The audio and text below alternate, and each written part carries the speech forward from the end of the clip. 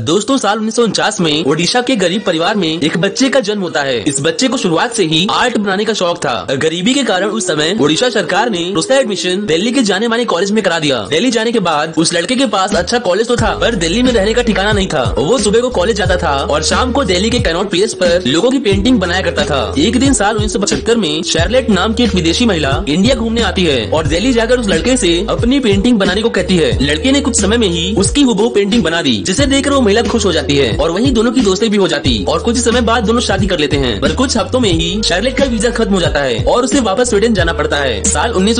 में वो लड़का शार्लेट ऐसी मिलने के लिए स्वीडन जाने की सोचता है और उसके पास प्लेन की टिकट के पैसे नहीं थे उसने अपने सारे सामान और पेंटिंग बेच दी और उससे एक पुरानी साइकिल खरीदी वो साइकिल ऐसी ही छह किलोमीटर के सफर को तय करते हुए करीब पाँच महीनों में स्वीडन पहुँच जाता है और वहाँ अपनी पत्नी ऐसी मिलता है ये लड़का कोई और नहीं बल्कि भारत के जाने माने आर्टिस्ट प्रद्युम्न कुमार महानंदिया है